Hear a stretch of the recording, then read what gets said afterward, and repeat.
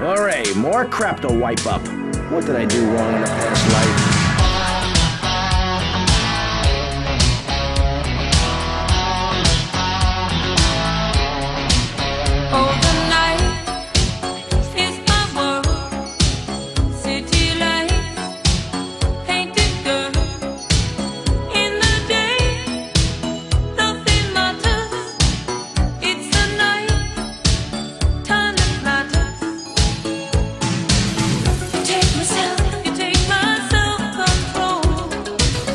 I'm gonna.